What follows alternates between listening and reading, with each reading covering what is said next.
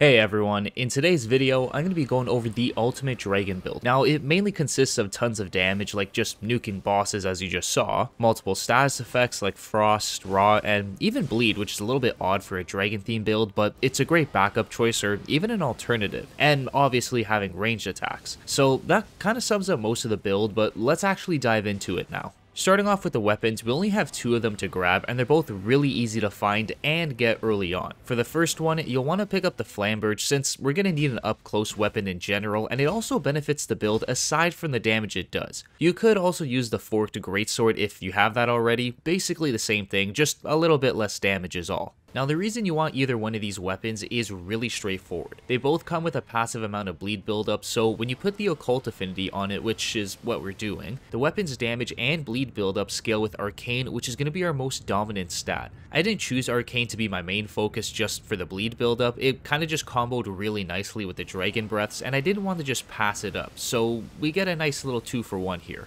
Continuing on that, we're going to be able to proc a blood loss every 3 to 4 attacks consistently, so I also tossed on both the White Mask and the Lord of Blood's Exultation. They both increase your damage output by a combined total of 30% for 20 seconds after a blood loss is procced near you. Fighting up close is completely covered with this one weapon, but the way it benefits this build a lot, or increases the damage of the Dragon Breaths, is through the blood loss buff. Getting that 30% damage boost is going to be huge, and that's something you'll always want to have before using them to, obviously, get the most damage output with each dragon attack but getting up close to proc it, running back, and then using breath attacks is way too much work, especially if your aim is to use the dragon attacks more often, which I'm sure it is if you're watching a video labeled as Ultimate Dragon Build. Getting around this was really easy though. All you need is the Ash of Seppuku to proc a blood loss on yourself and get that buff going whenever you want. Ideally during boss fights, but like I said, you can use it whenever you need. It also adds an extra 30 bleed buildup and physical damage to the weapon, which is another added bonus to this build. You'll also use this weapon weapon to kill the dragons later on to gain their breath attack, so I'll show you where you can find this stuff right away. To get the Flamberge, you'll have to reach the Redmane Castle and pick it up off a corpse with a pumpkin head guarding it. You can only grab it before or after the Radahn Festival and not during it for some reason. Kinda weird, but not a huge issue. Next, you'll be able to get the Lord of Blood's Exultation after defeating Esgar who can be found in the Leyndell Catacombs. He has about 3.5 thousand health and he's pretty weak to bleed buildup, so killing him with the help of the Flamberge will be really easy.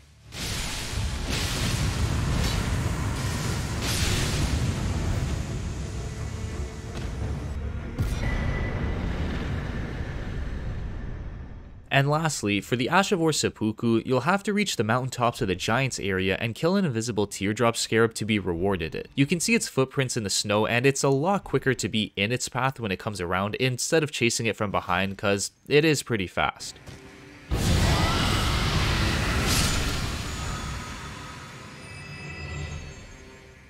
In regards to the helmet, I'm going to show you guys how to get that later on, like when I talk more about the armor stuff for this build, but anyways, back to the weapons. The other weapon we have is actually a Sacred Seal we're going to use to cast the dragon attacks, and for that, we're going to need the Dragon Communion Seal. It's very important you get this exact one, because it increases the damage of all dragon incantations by 15% while scaling off of Arcane. It's the only seal that scales with Arcane, which again, you know, goes hand in hand with bleed buildups, but that's enough about bleed buildups. The main dragon dragon attacks we're going to use are Smarag's Glintstone Breath for pure damage since it's going to be easy to buff, the Borealis Mist to proc Frost for a debuff, and the big chunk of health it takes away on the first cast, and if you want to add an extra status effect, which honestly I don't think is necessary at all because of how fast just these two alone kill bosses, but Ekzykes's Decay for Rot. Now, when you're using them, you'll want to start with the Borealis Mist first so you can take a chunk of their health away and make them take 20% increased damage for 30 seconds. It basically primes the next dragon attack to make it do more damage, and the one that follows with that is Smarag's Glintstone Breath. There's going to be a lot of things buffing this attack, such as the Frost we just proc for a 20% damage increase, the Magic Scorpion Charm that increases the damage of all magic attacks by 12%, which Smarag's Glintstone Breath deals purely of,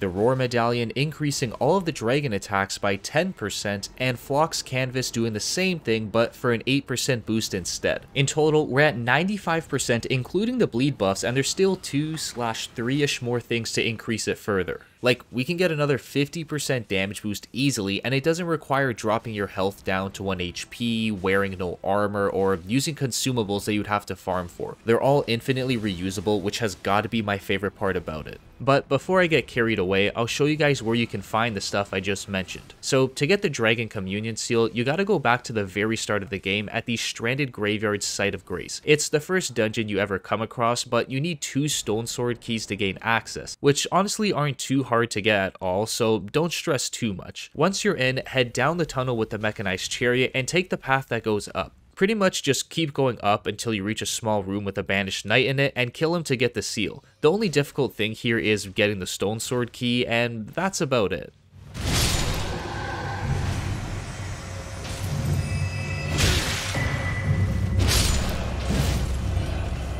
Next, for the Dragon Breaths, you're gonna have to kill the correlated dragons for each move. The Borealis one for his frost attack can be found in the freezing fog in the mountaintops of the Giants area. A bit of a late game thing to get, but the upside to this is you can use the lesser version of it, Dragonice, that does the same thing except for dealing 19% less damage, but also has a lower stat requirement to use, so it's pretty good for the early game. And you also only need one Dragon Heart to buy it, so you can kill any dragon you come across and get it right after. The place you buy buy all the dragon attacks from is in Caelid at the Cathedral of Dragon Communion. Same thing for Smarag's Glintstone Breath, and this is the easiest and earliest one you can get, which is nice since it's also the hardest hitting attack we can throw out, so getting that as soon as possible is going to make the game 10 times easier. Anyways, you're going to have to kill the Glintstone Dragon found in Liurnia of the Lakes, the one that has the key hidden behind him that everyone kind of just takes and runs away so they can enter the academy, that one. He only has 6,000 health, so like I said, it's not going to be a difficult fight. Well, dragons in general aren't too difficult when you just run under them and swing at their feet.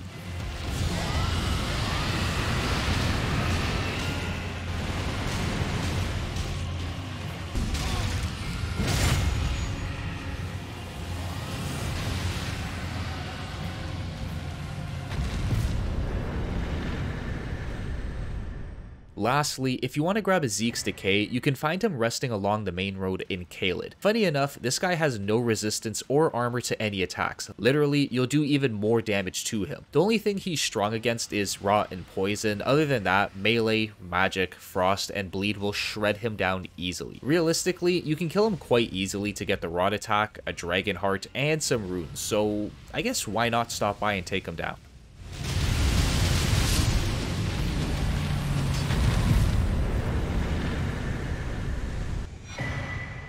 Now, for the talismans, we have three of them to get. Starting with the easiest one, the Roar Medallion, this can be rewarded after killing the Stone Digger troll that's located at the end of the Limgrave tunnels. Like, right when you start the game, you can head straight there and kill him before you ever level up. The fight is that easy.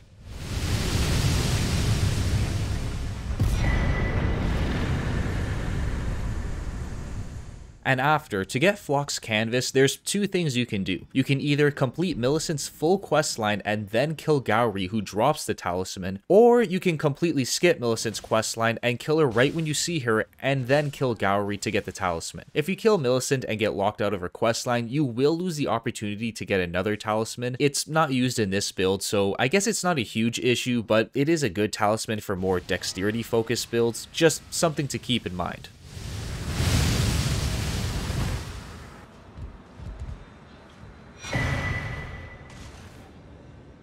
Finally, for the Magic Scorpion charm, you're gonna have to give Preceptor Seluvis the Amber Starlight after he tells you about his scheme. I'd recommend watching a full video on how to get this cause it can be a bit tricky and if you end up giving Ranni the Finger Slayer blade, he dies and you get locked out of getting it. Like I said, just watch a quick video on it and you'll be good. It's just marvelous.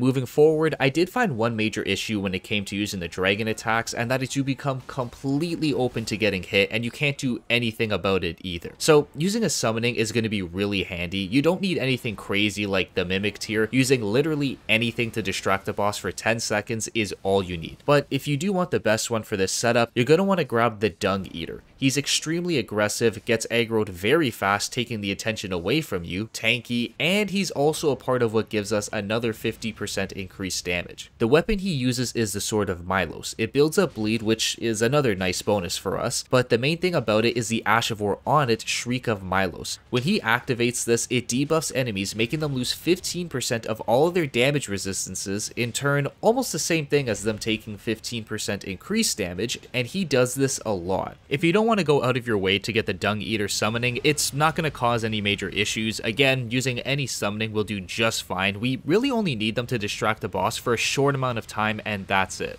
But if you do want the Dung Eater, there's kind of a long process behind it involving Preceptor Seluvis, so just like the Magic Scorpion charm, it's best to watch a step-by-step -step video on how to actually get him, but it is worth it in the end. The second thing I use to get that extra 50% damage is the incantation Golden Vow. Since we need quite a few levels in Faith to use the dragon attacks, it only made sense to add a handful more to get this buff. When used, it increases everyone nearby's damage by 15% and protection by 10% for 80 seconds. If you end up using a summoning, this can affect them as well as long as you use Golden Vow when they're close by. So to get this, you can pick it up off a corpse found in the corpse stench shack in the Mount Gelmir area. There's going to be a couple of guys trying to ambush you, so be careful of that, or just run in, take it, and run away. It's really up to you.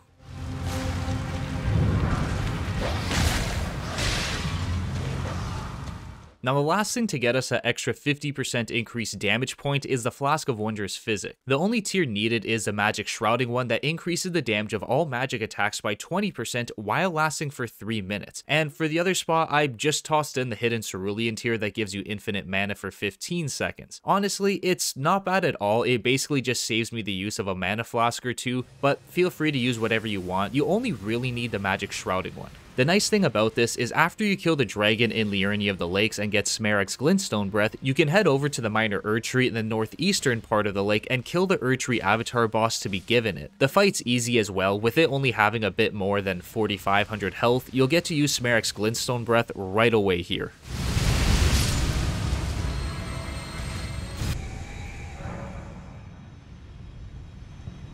The only thing left in this build now are the armor, stats, and the best way to use everything. So I think I'll go over the armor first, even though there's not too much to it, then the best way to use everything, and end off with the stats. Saying that, let's take a better look at the armor. So you already know for the headpiece, I'm running the white mask for the damage buff it gives whenever a blood loss happens near us, but the rest of the armor isn't too important. I threw on the Mausoleum set for its looks and the decent amount of armor it provides. You mainly just want to use any type of medium armor, nothing too heavy so we don't have to invest too many points into endurance, and nothing too light so we don't get one or two shotted by most enemies.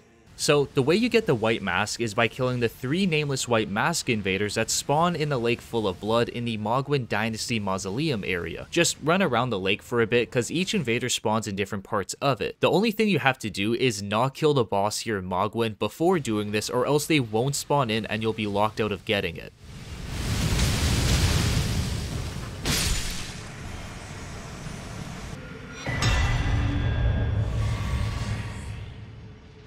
But before that, if you want the Mausoleum set, you're gonna have to farm it off of the Mausoleum Knight that stands right outside the Black Knife Catacombs. There's a site of grace close to the entrance, so you can keep respawning the Knight until you get everything you want.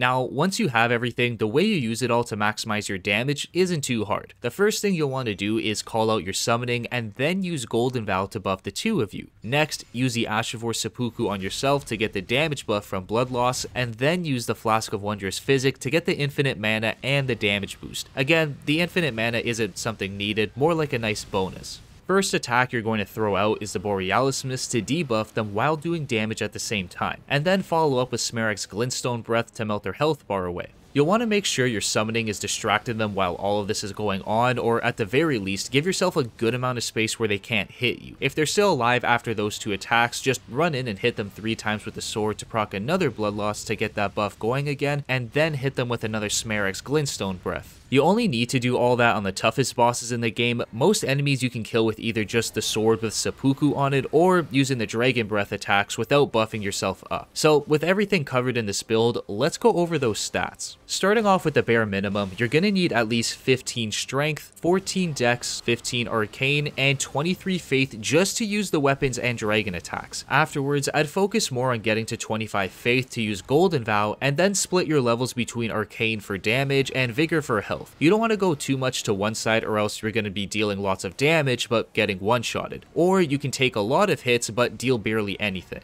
And lastly, 16 endurance to still be able to fast roll with all the items equipped, and then toss whatever leftover points you have into mind. You only need 14 minimum to get the full use of each dragon attack. If you start the game off with the Prophet class, you'll be able to match my stats exactly. If you're using anything else, you may have to take some points away from either Vigor or Mind, but that's not a huge issue.